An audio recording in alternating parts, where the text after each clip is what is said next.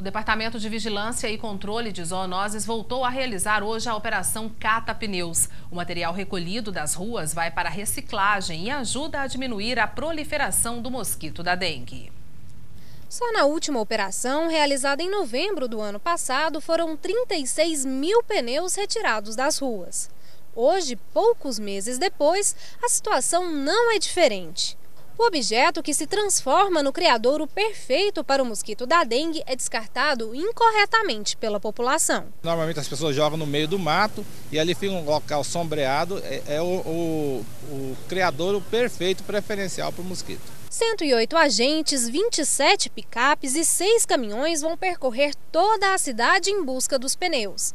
A atenção foi redobrada com o início do período chuvoso. Segundo o último boletim divulgado pela Secretaria de Saúde, até o dia 1 de março, havia uma queda de mais de 62% no número de casos de dengue, se comparado com o mesmo período do ano passado.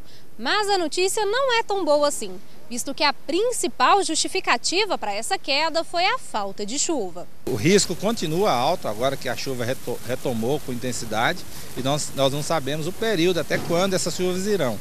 Então, é esperado para agora um aumento considerável dos casos de dengue. Então, por isso nós temos que intensificar as ações e alertar a população para que é, elimine seus, os criadores que tem ali na sua própria residência. E o último boletim epidemiológico divulgado pela Secretaria Estadual de Saúde mostra que o número de casos de dengue registrados em Goiás até o fim de fevereiro apresentou uma queda de 62,13% em comparação ao mesmo período do ano passado. Em 2013, durante o mesmo período, já haviam sido notificados mais de 160 mil casos, com 85 mortes confirmadas. Este ano foram registrados 22.850 casos, com 3 três mortes. Goiânia continua com o maior número de registros do estado, seguida de Lusiânia, Aparecida de Goiânia, Iporá e Anápolis.